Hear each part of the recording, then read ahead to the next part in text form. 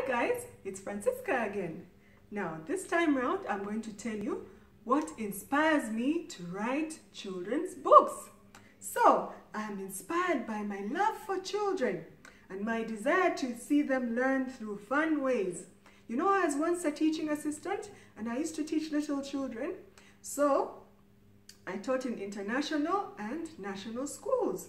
So as someone who did that, who taught in international and national schools, I feel rewarded seeing children grow through books and other educational materials like puzzles.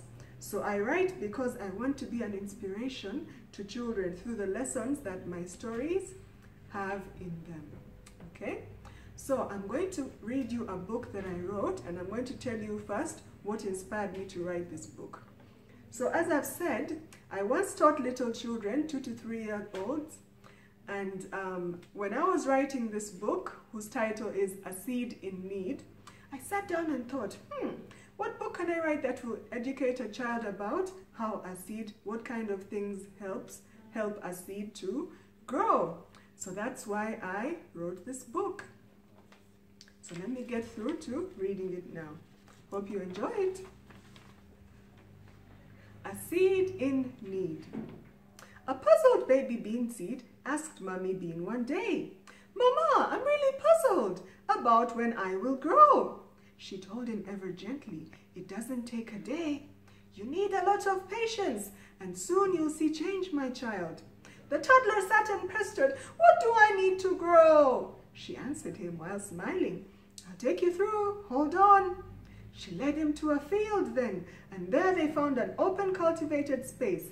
And so began her lessons to her dear young bean seed. They stood right in the middle, and she began her tale of how many years before now she never knew she'd grow. She'd asked the same old question that Baby Bean had asked, and this is what the elders did finally say at last. You need good soil to grow in, preferably loam soil, for it is dark and fertile, just perfect for a seed. It's better when it's softened, for then our roots grow deep. It's also best if mixed up with fertilizer. Oh wow, Mama, how lovely! Let's find loam soil at once. I want to grow so quickly and be as tall as you. And so they searched for loam soil. They found it easily. Then deep they started digging till they were one inch deep.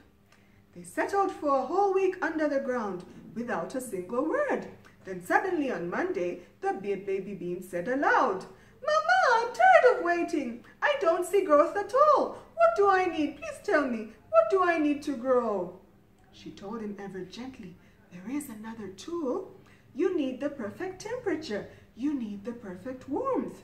It should be right around 80 degrees Fahrenheit. So let us snuggle closer and get the warmth we need. The two beloveds moved up, and soon they fell to the heat. Then fast asleep they both fell, until a week had passed. Once more the baby bean woke, and he exclaimed in fright, Mama, what, what is this now? I haven't grown a sprout. Oh, come on, tell me kindly, what do I need to grow? The depth and warmth have not helped, so spill the beans, I pray.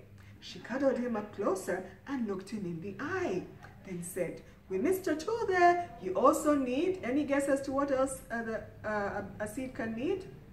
Very good, water. It shouldn't be too much though, just half an inch should do each day. Oh, Baby Bean was happy. He jumped and shook the ground. This woke up Sleepy Puddle, who took a nap above them. He asked, What is the matter? What noise disrupts my nap? Then Baby Bean said, Sorry, I didn't mean to, sir. But since you are awake now, perhaps you could water us. We need an inch each day, sir, and then for sure we'll grow. To be tall, as tall as Mama here. The puddle said, Oh, poor thing, I'll surely help you out. I won't forget, don't worry, so go and take your nap. And so the baby bean slept for two weeks and then awoke. He felt a little strange, for his head felt rather warm. He opened up his sleepy eyes, and my, you'll never guess, he saw the light around him as clearly as could be. What joy, what great rejoicing, what jubilation then! For finally this bean seed was tall as, and as strong as lead. He turned and looked at Mama, and she was smiling back. Together they grew slowly until they grew more beans. And so what once was baby became an adult bean. So whatever you do wish for, just like the baby bean, you might not get it fast now, so wait on patiently. For yes, in due time you'll see, you'll get your wish and dreams. For good dreams come by slowly, but when they do, you grow. So the lesson in my story is, in order to be successful, you need not just one, not just two, but many things to help you to grow, just like how a plant needs several things to grow successfully. And that is the end of my story.